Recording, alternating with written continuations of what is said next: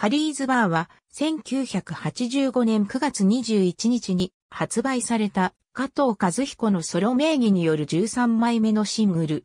加藤にとって一般販売された初の12インチシングルとなる。ハリーズバーのエントランス。ハリーズバーは加藤和彦の9枚目のソロアルバム、ベネツィアの収録曲で安井和美が詩を手掛け、ベネツィアに実在する同名のバーレストランを舞台にしている。この楽曲は、同アルバムが発表された1984年に、非売プロモーション版として7インチシングルで頒布されたが、翌年に録音エンジニアの大川正義によって新たに、スペシャルベネツィアンミックスと名付けられたリミックスが施され、45回転の12インチレコードで発売された。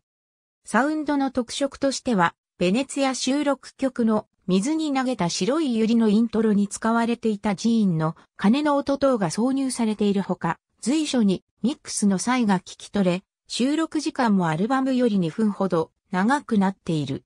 一方、カップリング曲には、真夜中のバレリーナとソングフォーベネツィアが使われ、いずれもアルバムと同一の音源が用いられている。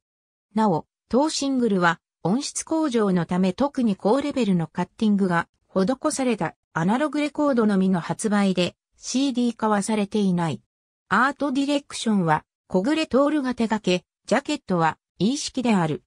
表にはカーニバルの仮面をつけて中世イタリアの貴族に扮した加藤の写真が使用されている。ハリーズバー、真夜中のバレリーナ、ソングフォーベネツィア等シングルの収録曲にはいくつかのカバーバージョンが存在する。ありがとうございます。